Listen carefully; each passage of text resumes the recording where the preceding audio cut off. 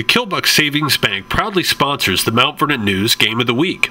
Serving you better with offices in Apple Valley and Danville, Killbuck Savings Bank specializes in community banking. It's what we do, it's who we are, every single day.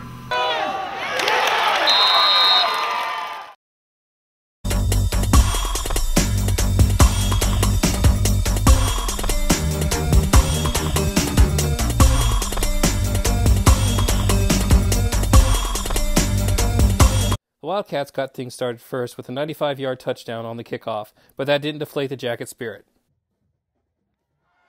Gray Davison took off for a 56 yard touchdown run. Touchdown, Noah Hubbard hits Noah Muck with a pass as the two work together on drops.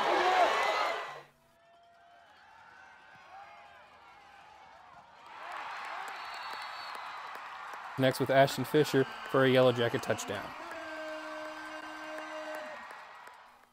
The Jackets defense keeps the Wildcats offense on their toes. Newark strikes back with a touchdown late in the first half.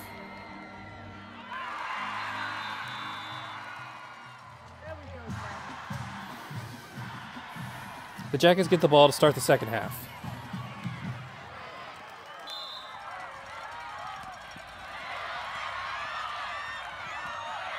Mount Vernon's Wyatt Gregory evades the Newark defense, setting himself up for a touchdown starting the fourth quarter.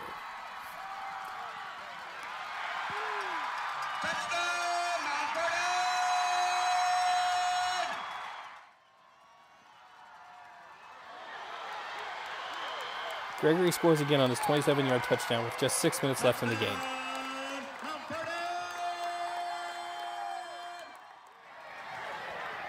Mount Vernon's defense gets a key stop in the fourth quarter.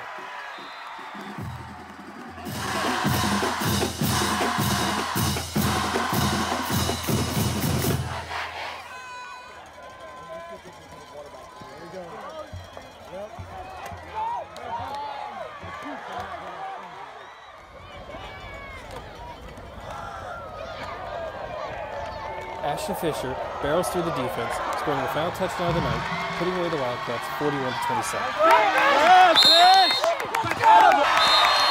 Touchdown!